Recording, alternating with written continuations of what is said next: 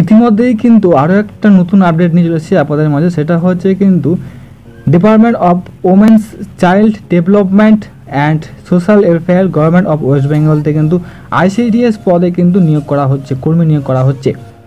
তো কী কী ক্যাটাগরি রয়েছে, কারা কারা আবেদন করতে পারবে কী কী পোস্ট রয়েছে, বয়স সীমা কত হবে, আবেদন ফিস কত রয়েছে, এবং কোন কোন ডিস্ট্রিক্টে আবেদন করা হয়েছে, সমস্ত রকম তথ্য কিন্তু আমরা জানিয়ে এই ভিডিওর মাধ্যমে। তো অত্যন্তভাবে রিকোয়েস্ট হলো এই ভিডিওটা প্রথম থেকে শেষ অবধি দেখার। তো চলুন, আমরা সেই অফিসিয়ালি সেইটা দেখে নেব, সেখানে কি বলা রয়েছে, তো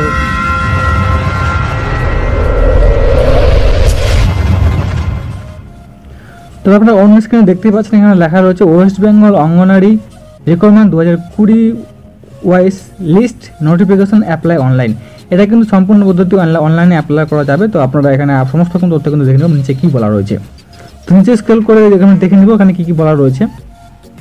তো আপনাদের এখানে বলে দিই, আপনাদের এখানে কিন্তু department of West Bengal child development and social ওয়েলফেয়ারে কিন্তু গভর্নমেন্টের কিন্তু নাম হচ্ছে গভর্নমেন্টের নেম রয়েছে government of West Bengal state তবে নেম অফ পোস্ট কী কী পোস্টের জন্য আপনারা আবেদন করতে পারেন সেটা আমরা দেখে নেব। সেখানে রয়েছে, এখানে প্রথমে যেটা অপশন রয়েছে, সেটা আপনারা দেখতে পাচ্ছেন।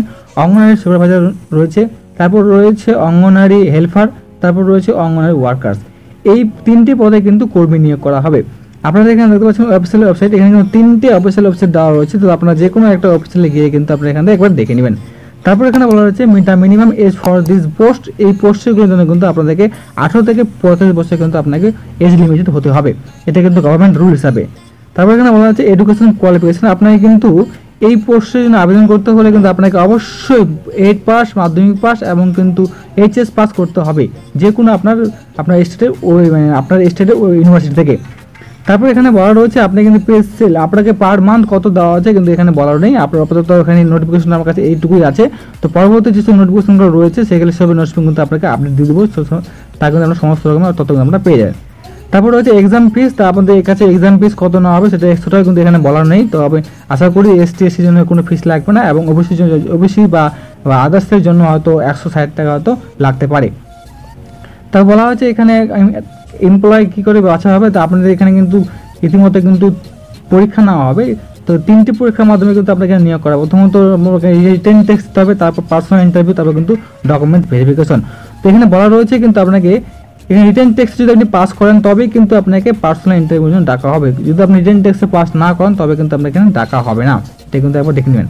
তারপরে এখানে দেখতে পাচ্ছেন ওয়েস্ট বেঙ্গল অঙ্গনওয়াড়ি রিক্রুটমেন্ট দু হাজার কুড়ি ডিস্ট্রিক্ট ওয়াইজ লিস্ট কিন্তু এখানে দেওয়া হবে। কোন কোন ডিস্ট্রিক্টে কর্মী নেওয়া হবে সম্পূর্ণ তথ্য কিন্তু আপনাকে দেখে নেবেন। তো নিচে স্ক্রিন করে আসবেন, তারপর এখানে দেখতে পাচ্ছেন অন স্ক্রিনে ডিস্ট্রিক্ট ওয়াইজ লিস্ট তারপর এখানে লেখা আছে নোটিফিকেশন স্ট্যাটাস তো এখানে লেখা আছে আলিপুর দুয়ারে কিন্তু অঙ্গনওয়াড়ি নেওয়া হবে, কামি, নেওয়া হবে দু হাজার কুড়িতে। যেটা কামিনশন দেখাচ্ছে এখনও কিন্তু এই আপডেটটা আসেনি। তো আপডেটটা আসলে কিন্তু আপনাদেরকে অবশ্যই আমি জানিয়ে দেবো। তো এই আপডেটটা পাওয়ার জন্য কিন্তু আমার চ্যানেলটা অবশ্যই সাবস্ক্রাইব করে রাখবেন যে এই সমস্ত আপডেট পাওয়ার জন্য। আর এই আপডেট পাওয়ার জন্য কিন্তু আমার সঙ্গে সঙ্গে আপনাকে জানিয়ে দেবো। তো তারপরে লেখা আছে এখানে তারপরে কিন্তু রয়েছে বাঁকুড়া থেকে কিন্তু নিয়োগ করা হবে। তারপর রয়েছে পশ্চিম বর্ধমান, তারপর পূর্ব বর্ধমানে, তারপর তারপর বীরভূমে রয়েছে। তারপর উত্তর দিনাজপুরে কিন্তু কর্মী নেওয়া হবে।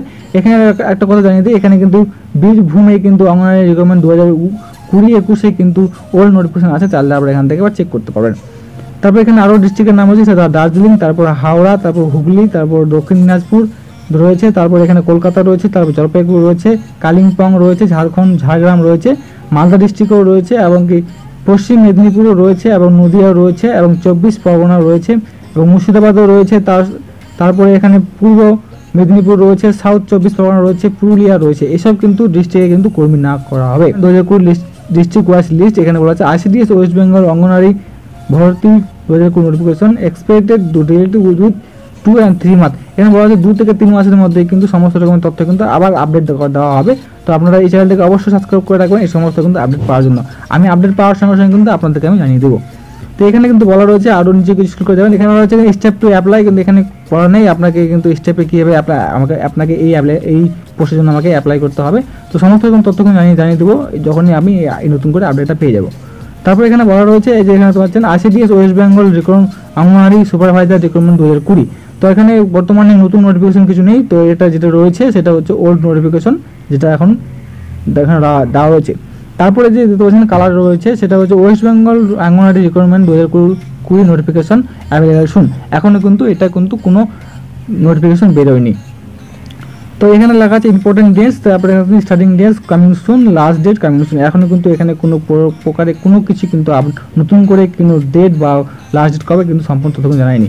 তো আপনাদেরকে আমি জানিয়ে দিলাম, এই সমস্ত তথ্য কিন্তু আপাতত আমার কাছে ছিল, তো আমি আপনাদেরকে জানিয়ে দিলাম। আর সমস্ত রকম তথ্য কিন্তু আমার কাছে আসলে আপনাদেরকে আমি জানিয়ে দেবো।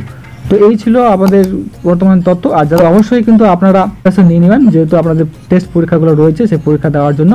আর খুব শীঘ্রই দেখা হবে নতুন ভিডিও নিয়ে। এই এই ব্যাপারে তো আমি যেহেতু আপডেট পাইনি, আমি আপডেট পাওয়ার সঙ্গে সঙ্গে আমি কিন্তু আপনাদের জানিয়ে দেবো।